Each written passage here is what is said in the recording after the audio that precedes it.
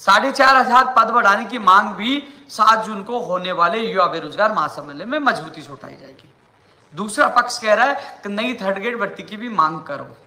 तो मैं दूसरे पक्ष को भी कह दूँ, आपकी नई भर्ती की भी मांग करेंगे, लेकिन साढ़े चार हज़ार पद इसी भर्ती में से कम किए गए थे, इनकी मांग ज़रूर मैं बुलंद करूँगा। साथ में नई भर्ती क्या मांग करे हो चाहे फ़र्स्ट ग्रेड हो, सेकंड ग्रेड हो, थर्ड ग्रेड हो librarian first grade, second grade, third grade हो, वो सभी मांग उठाई जाएगी, चाहे पीटीआई की हो।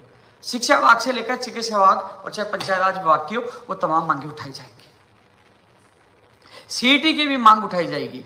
यानी कि साथियों, अब आपके पास एक बड़ा मंच है।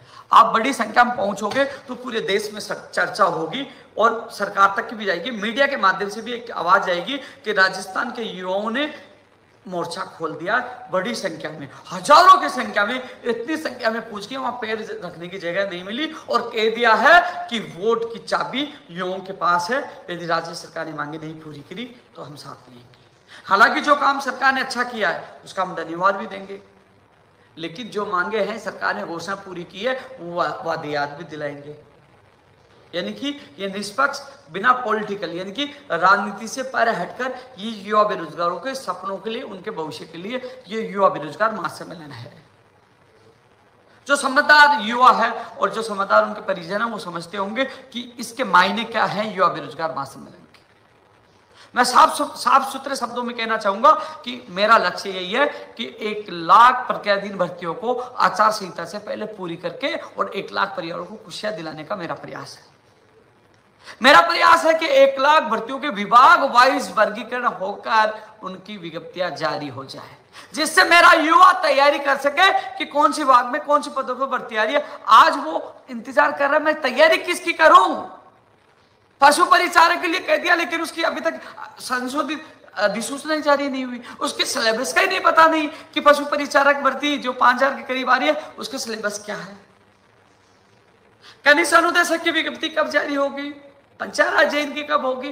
Rajasthan police S I R S first grade, second grade, तमाम विभागों में जो एक लाख में है, उनकी विज्ञप्तियाँ कब जारी हुई? सवाल हर युवा के सामने है। सवाल हर युवा के माता पिता के सामने कि मैं बच्चे को तैयारी कराऊं तो कराऊं, किसकी कोचिंग कराऊं, किसकी तैयारी कराऊं? तो ये सवाल आपके सबके सामने इन सवालों का जवाब लेने के लिए, इन सवालों का जवाब लेने के लिए, अपनी मांगों को पूरा करवाने के लिए हम सब सात जून को एक ताकत दिखा रहे हैं।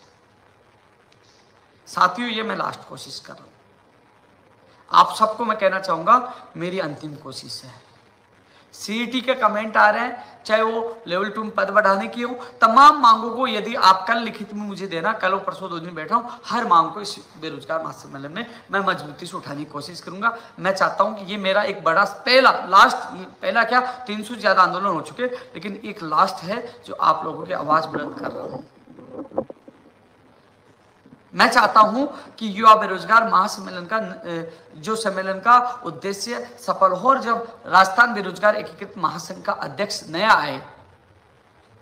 उससे पहले मैं कह सकता हूँ कि देखो, मेरे कार्यकाल में एक लाख भर्तियों का वर्गीकरण भी जारी हुआ और एक लाख जो प्रतिदिन लोगों को ज्वाइनिंग मिली, दो से ढाई लाख पहले को मैं ज्वाइनिंग दिला चुका हूँ।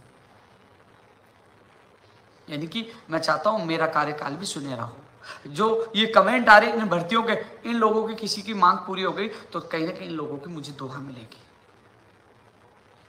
हालाँकि आपको पता है, अक्टूबर तक, यानी कि अक्टूबर में आचार लग जाएगी। जून, जुलाई, अगस्त, सितंबर चार महीने हैं। यानी कि चार महीने समझ लीजिए, क्योंकि अक्टूबर के बाद नवंबर में चुनाव होंगे, दिसंबर में जब परिणाम आएगा और फिर सरकार जो भी बनेगी, वो जनवरी तक कार्य कर पाएगी। यानी कि सितंबर तक कार्यकाल मेरा भी समझ लीजिए, अक्टूबर के बाद कोई मतलब अक्टूबर के बाद ये ज़रूर है कि जो भी राजनीतिक पार्टी, जो दाव पेश हम कहेंगे कि हम कहेंगे कि हम उसी के साथ हैं, जो इन भर्तियों को पूरा करवाएगा।